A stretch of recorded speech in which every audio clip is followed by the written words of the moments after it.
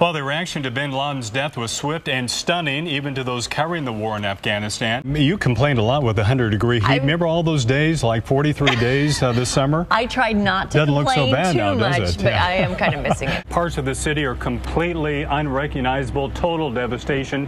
Now, cars and trucks are stacked and strewn everywhere. Power lines are down. People are just kind of walking around in a daze. I know it's a cliche, but it's like a bomb dropped right here for miles around. It's like a war zone. And you can tell where the uh, the tornado skipped over and went over some trees. The tops of the trees are off, but the houses are fine. It's wet, it's cold, it's gloomy here in Stillwater and also sad. Now, sadness has gripped this OSU campus as the university pays tribute and honors those killed in last week's plane crash. All right, we're going to head back to Frank now. Frank, uh, let us know there. Are, are we done with uh, the weather?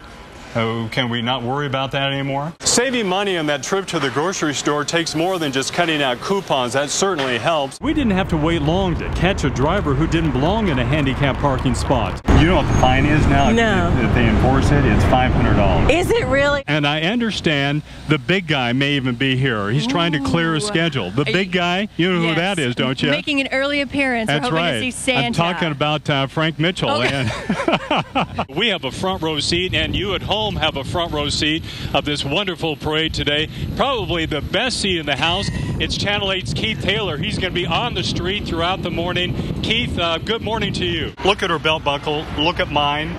Look at my shoes. Look at her boots. Who do you think has the edge today in uh, today's Anchor Challenge? All right, wraps it up here. A depressing night for the Sooners and their fans. Jubilant night for Kristen and all the OSU fans. Yeah. 44-10 the final. Let's uh, It's all right. It's a good game. You played let's well. warm up now, get in line, and fight the traffic back to Tulsa. Back to you, Yvonne.